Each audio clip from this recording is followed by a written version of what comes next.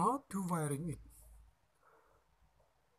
I use uh, output pin 12 for a LED and I use two input one for pin 8 for start button and one more for pin 7 for stop button.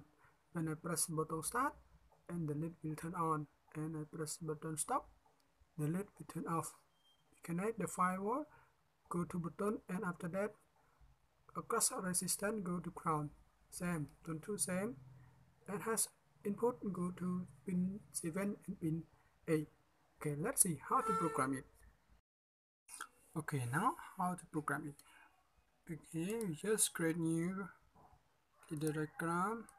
Select a micro I use uh, Arduino Uno just yes. Okay. Now I have Arduino Uno so the the we want to use one button start and one button stop. Now you want speed okay you can choose from here you can. Choose from 1 7 and 1 and 1 8 okay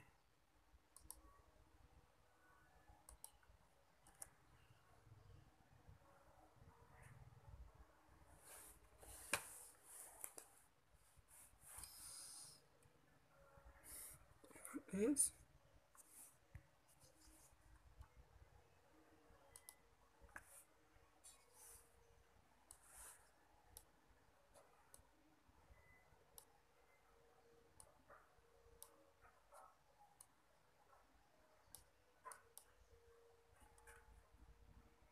quite one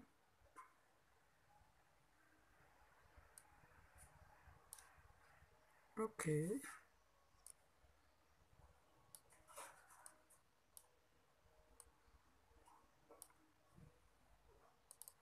I select it.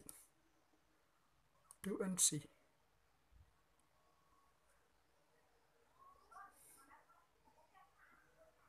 Use one more coil and one more.